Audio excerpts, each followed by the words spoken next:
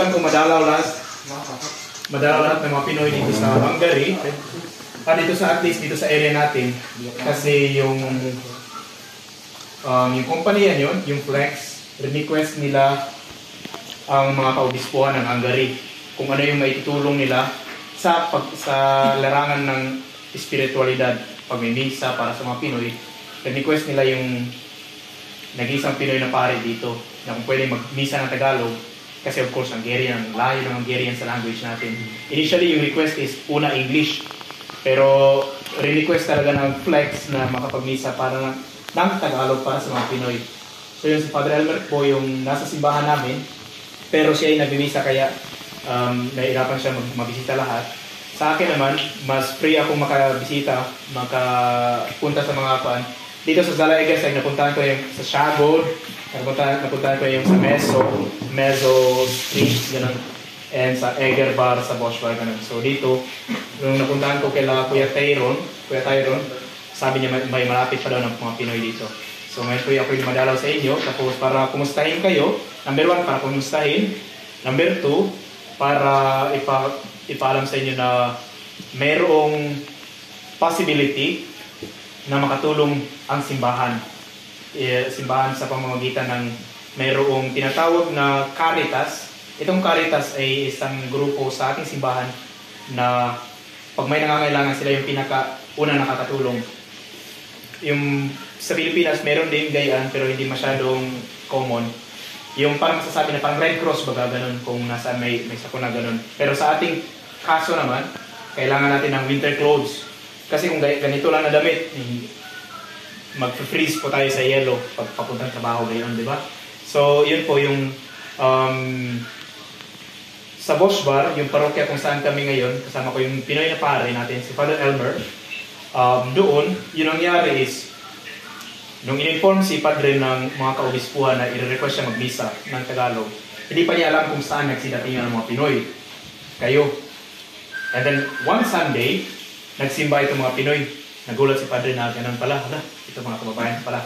And then during sa Mass, inanong si Padre para sa mga Hungarians. In Hungarian, sabi niya, itong mga Pinoy po na ito ay mga kababayan ko, huwag kayong matakot sa kanila, ganyan yung pagkasabi niya. Tapos, sila po ay kakating lang dito sa Hungary. Walang dalang winter clothes, hindi sanay sa lamig, kasi sa atin ay tropical season, di ba? So, with that request, dahan-dahang nagsidatingan yung tulong.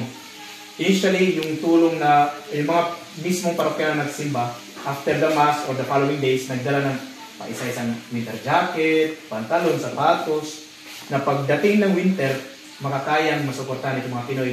So yun yung, yun yung, yun yung past start. So sa Bosch Bar, yung mga katrabaho yung nasa Bosch Bar, yung mga Pinoy, sila ay natulungan na, nakatanggap na sila, start na nakatanggap. Kahapon din sa Eger Bar na simula na matulungan. So ganun po yung target namin ni Padre, na makilala yung mga Pinoy na nandito sa Hungary, at least dito sa Zalaegerseg, sa Sombakay Medjes, ito yung tinatawag na parang um, district ng simbahan para matulungan.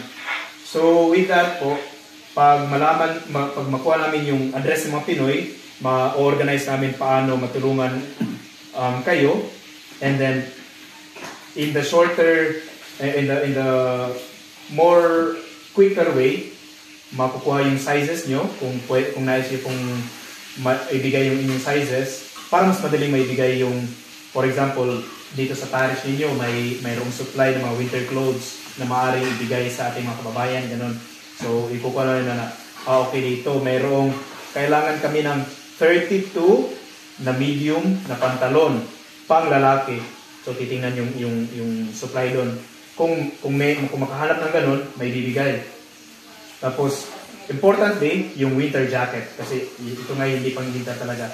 Ito yung, mas, yung, yung winter jacket ay mas makapal. Tapos, kaya kahit mag-negative. So, pag may supply na ganun, pwedeng i-share, pwedeng ibigay sa inyo. So, with that po, um, hindi ko lang, hindi lamang kayo, na, uh, hindi ko lamang kayo kakumustahin, um, hingi ko rin po yung sizes ninyo.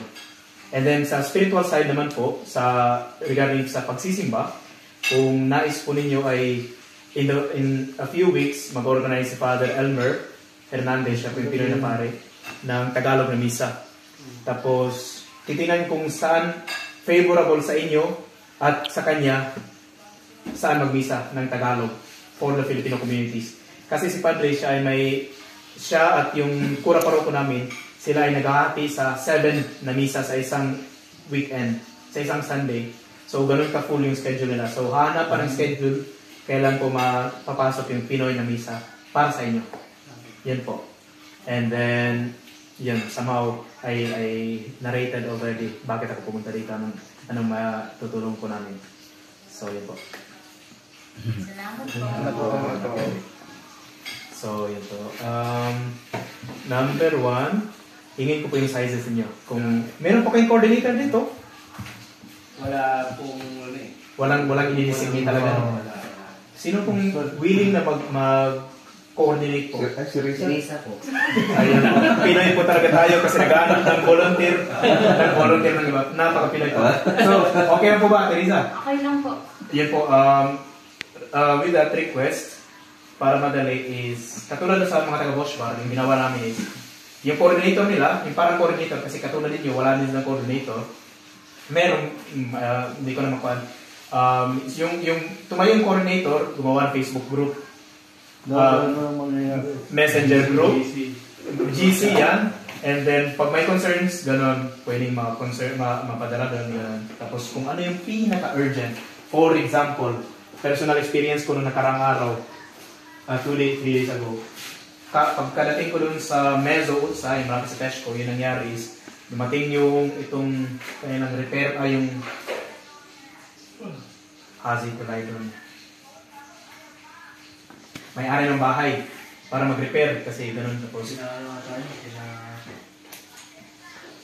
Uh, Marites, sila, Ate Marites yung nandun. Okay. So yun ang nangyari is, yung, yung concern nila, somehow natulungan ko konti, pa konti-konti lang sa, nakakaya kong sa, uh, usapin na Hungarian. So ganun na, mga ganun ka konti. And yung mga mga very very very quick na may tutulong for example paano pumunta sa ano anong sasabihin pag nasa parmasya ganon kasi gagana naman yung gaganon ganon tapos sign language okay gagana yan pero kung kung kailangan pa translation ganun natutulungan ni Padre. And then paano papunta ng Bosch bar or other way around yung mga galing sa sa Bosch bar paano papunta sa papuntang Zalaigerseg sa ano sasabihin sa bus driver ganun. Pwede naman sabihin na Bosch bar Zalaigerseg pwede naman yun pero kung nais makuhan ganun. So yun yun yung mga Basic. basic. Yes that's the word. And then yun po paki ate ma ate Risa. Risa ate Risa paki po niya and then um, yung isa ding sa kay Father Elmer, yung ginawa niya para sa mga taga-wash bar and sa Eger bar, yung sa Eger bar, nakita na yung kanilang kwarto ay hindi maganda ang ventilation. Yung patuyuan ng damit sa kwarto din nila. And that is very unhelpful. Kasi, in the longer run, pag, lalo na pag mag, maggamit na ng, ng heater, yung init na yun, pag mag-cycle lang sa loob ng kwarto, magka-create yun ng fung- fungi. And fu- fungi, fungal, parang fungal infection, ganun, nakakasama yan sa lalamunan. So yun yung mga concern na, yun yung nakita ni Padre. So somehow, without the help of a local, ito yung mahirap makita. So kung may makapagbigay ng, ng tips sa inyo, oh, for example, yung pinaka-practical tip kung gayon, kung sa kwarto niyo naman dito ay mayroong magandang cir- circulation ng init, um, ng hangin, ventilation, um, even with that ventilation, kailangan niyo pa rin buksan ang inyong kwarto and um, comfort room at least 5 minutes a day. So uh, para yung yung mga yung mga hangin, yung init na sincirculate ng footage heater ng heater ay may labas din para ma, ma, ma- ano to, mas fresh yan yung, yung lamig ganun. So, yun po. Yun po yung mga is- ibang ibang concern ko. Kailan mag-i-snow dito? Pag i-snow dito, itong time na ito, from August until November, middle half of November, ito yung tinatawag na autumn. Autumn, sunod is winter. So, winter will start November, kalagitnaan ng November, until January. But the cold will remain until March or April. Kaya ganun kakuan dito. So, August, nung August, nagsimula ng lumamig-lamig hanggang March pa yan. Minsan, mag April, May, malamig konti pa, hindi pa talaga summer. Kaya ganun, kailangan po natin protektahan natin sarili galing sa lamig. So, yun po.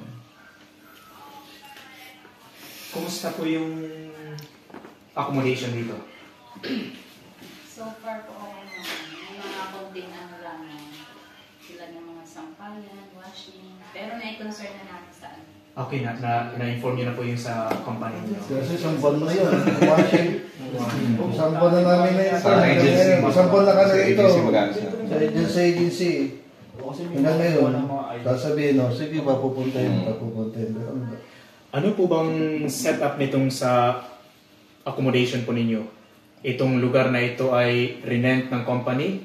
Or pin, renent ng company? So yung pumupunta sa inyo dito na Hungarian is local na may-ari nitong bahay, di ba? Ganun. Oo. So kinontak nyo na yung taga-company, ay yung taga-job team, Oo. kinontak nyo din yung may-ari ng bahay. Sila ang nakikipag-contact. Sila nakikipag-usap. Um, okay.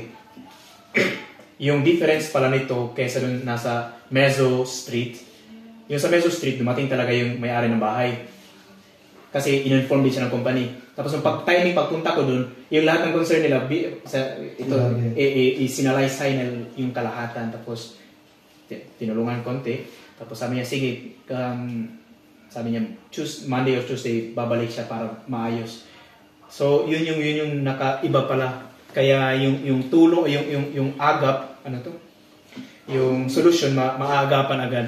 Ganon. So, yun po. Um, I hope na may na makuha nyo rin yung contact nung May-ari. ng bahay para hindi lang yung company kasi most probably they are, they have a lot of concerns kasi marami na din tayo mga Pilipino na nandito tapos mga workers nila. So, yun po. I don't know if it would be possible kung maaari yung hingin yung contact nung taga-bahay, yung may-ari ng bahay. Marunong po siya mag-English kaya. Kaya saan po? May hindi natin makapag-usap. Ma maalas mag English. Baka po hindi. Baka Hindi. hindi. Hindi marunong. Kasi yung may... Hindi, hindi marunong. Yung- Di ba naabutan natin dito? Ah, Indian na. Pag mag-English yun. Kung Indians, kung Indians sila or Turkish ganun, most probably they would know English. Hindi Hindi po. tagal Hindi. condition eh. Dito, hindi. Hindi Nung marunong dumating talaga. kami, hindi siya marunong mag-ano talagang... Pero nasa flex na siya ngayon yung naglilinis dito, no? May-ari ng bahay? Hindi. Hindi. Ay, ay. Yung, pin, Yung yung, may, may-ari, yung mukhang Indiana, yung nasa O yung, yung nadatnan natin dito, nandito yun, yung may-ari ka, hindi naman mag-English. Hindi naman mag-English. Tapos iniwan niya lang kami dito. True job time lang po talaga yung way namin na ano eh, pag may mga concern. Hmm. Ngayon, unang dating natin, no? Mm, nandito yung may-ari. Nandito yung Hindi may-ari. marunong mag-English. Oo, hindi marunong. yung sa washing machine nyo, ilan po yung sira? Ilan yung functioning, ilan lahat? Isa lang. Isa lang gumagana, dalawa yun. Pero Isa sira. Isa lang, y- yung isa sira talaga. Pi- Pila talaga, pila. Sila kuya din, no? Sira din din yung sa inyo dun sa kabilang bahay. Sila dito nga sila naglalaba eh. May 24 kami tapos isang washing machine. No, 24 kami. Pwede ko po yung. Wala pa ng dryer.